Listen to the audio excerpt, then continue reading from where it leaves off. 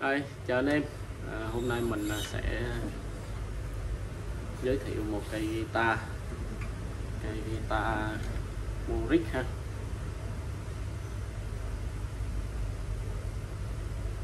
Muric Cây đàn sản xuất ở Muric phiên bản Hàn Quốc.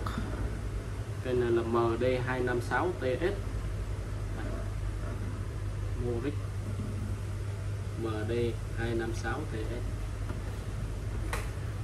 đàn nậu địa à, thương hiệu Moric của Nhật à, sản xuất ở Hàn Quốc. Cái đàn này à, cái đàn này ngoại hình khá là đẹp. Đây, những cái đàn mà những cái đàn nội địa thì âm thanh thì anh em chơi đàn này biết rồi. Khỏi phải bàn trong tầm giá thì nó rất là cạnh tranh so với những cây đàn mới tầm 2 triệu 2 triệu rưỡi 3 triệu.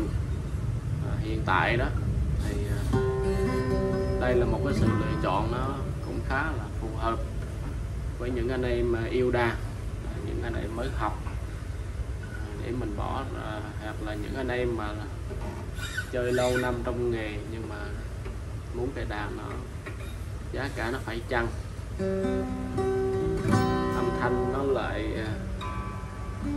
Thanh.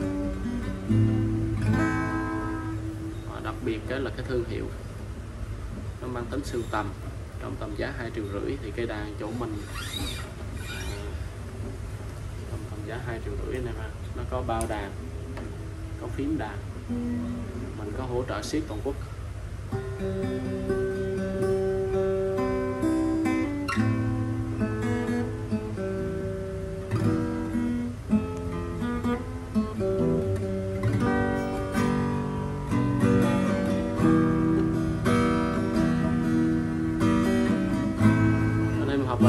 Thì cây này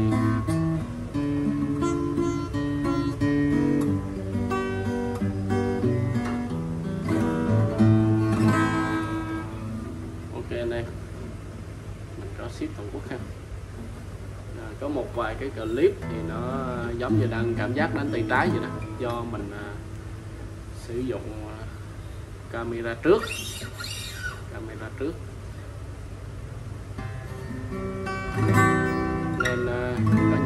Những giác nó như tay trái, nhưng không phải anh em ha tay phải hết.